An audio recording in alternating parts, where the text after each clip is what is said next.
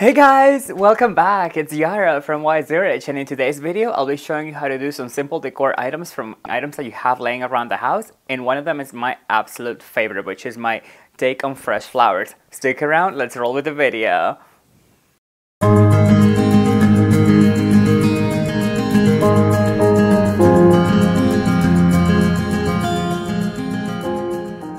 Hey guys, it's Yaro from YZuarich. Thank you so much for being here again. Thank you for your support. Thank you for watching my videos and liking and subscribing and commenting. So thank you for all of that from the bottom of my heart. If this is your first time here, welcome.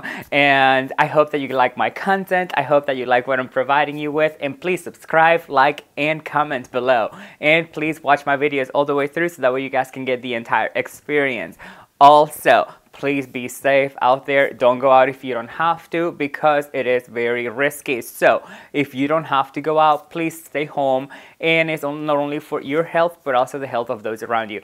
I am super excited about today's video. Oh my God. I created this project, like these two little projects that I did around the house with things I had laying around and they turned out amazing. I was not even certain as to how they were going to turn out because I've never really done them before, but one of them is my absolute favorite I think. Like it looks so cool and like it's given me so many ideas on how to implement it and hopefully you guys can use it as well. Thank you again. Please subscribe. Please watch my videos all the way through and comment and like my videos. So thank you. Please be safe again and oh my hair is giving you some real curliness realness today but well oh well. Let's roll with the first DIY for this first DIY, I'm using some yarn, some cardboard, and some straws. I started by tracing a circle using the lid of a candle as my guide. For the middle circle, I'm actually using a quarter just because I need to create a smaller hole in the middle. Pretty much I'm turning this into a donut. You actually need just one and then once you cut it, you can create the other one. Here I'm just tracing a V for an actual opening that we will cut out. Once you cut out your circles, you're left with these little C shapes. I'd like to point out that for this project I'm going to be making pom-poms. This is the easiest way I know how to make them. If you have a different method, feel free to use it. But for this method, I'm using just the way I learned it in school and I'm also using two color yarns because I like the contrast. What I'm doing here is wrapping the yarn around these two circles. Just make sure it's not too tight because we are going to be using these little scissors to cut through the center of both circles. I find it easier to just press it down while I'm cutting because it keeps the yarn in place. Now here comes the tricky part. This is where you actually get a separate string of yarn and then you will run this yarn through the middle of the two circles and then when you get to the end you're to tie a little loop and make it as tight as you possibly can because this will keep your pom-pom in place. Once you tied up your pom-pom, you can take it out of the two circles and now it's time for a little haircut.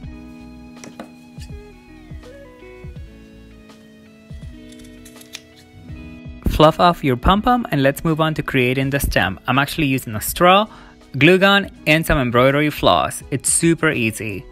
All I'm doing is wrapping the embroidery floss around the straw by gluing the ends.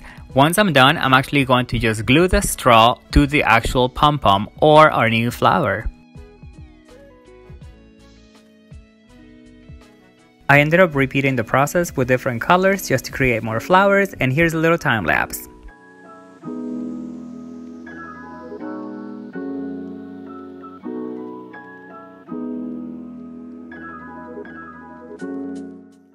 Just creating some more stems and here are our beautiful flowers.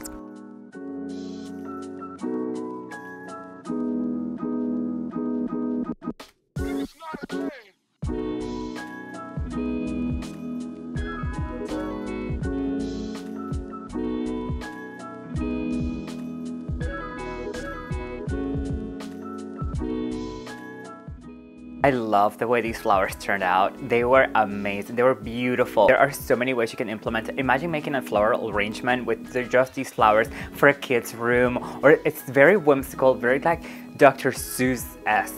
With that, let's roll with the second DIY. For this second project, I'm actually using some air dry clay, an X-Acto knife, some Mod Podge, water, some acrylic paint, and brushes, and also just a surface to roll my clay out. I'm using a rolling pin just to roll out the clay and also the lid of a candle to cut out the circle. I ended up cutting out 4 circles and now I'm just applying some water to the top to smooth out the surface. After letting them dry for over 48 hours, this is what my little circles look like. I ended up not using acrylic paint and instead I'm just using my brush pens. These are by Arteza and these are watercolor pens. They looked really pretty against the clay and I love the colors. I will link these in the description box. I'm not following a specific pattern or anything. This is just a very organic type of way for me to paint and I just thought they looked really pretty. I decided to choose these colors because they reminded me of spring and here's a little time lapse of me just finishing the discs.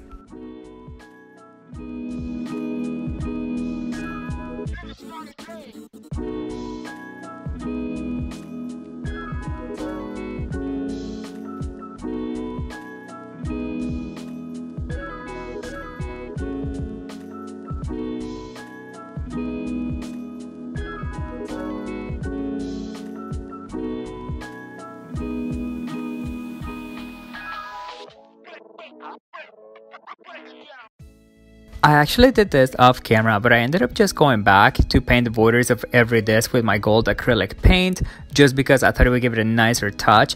And for the top, instead of using my Mod Podge, which I originally intended, I ended up just using the Krylon UV Archival Spray, just to protect the paint and to just give it that nicer glossy finish.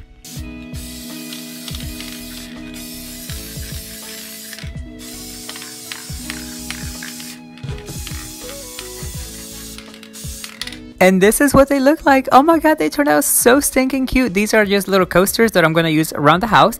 They are a great way to give somebody a present if you want to give somebody a little housewarming present. It's super affordable and they are customizable to anything you want to make them like.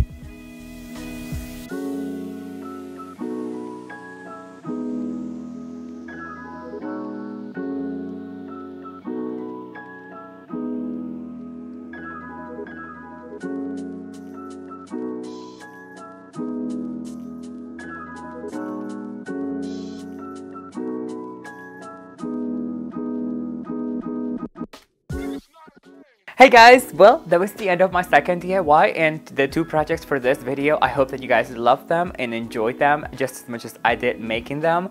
If you come up with any ideas or if you make any of your own, please tag them on Instagram so I can see them. It is Made with Yaro, that's M-A-D-E with Yaro on Instagram. And also, don't forget to like, subscribe, and comment if you like the content that I'm providing you with. And with that, Please be safe out there, take care of yourself, and take care of those around you. Don't forget the journey as what brings us happiness and not the destination. Love you all. Thank you from the bottom of my heart. Subscribe, like, and comment. See you on the next one. Bye.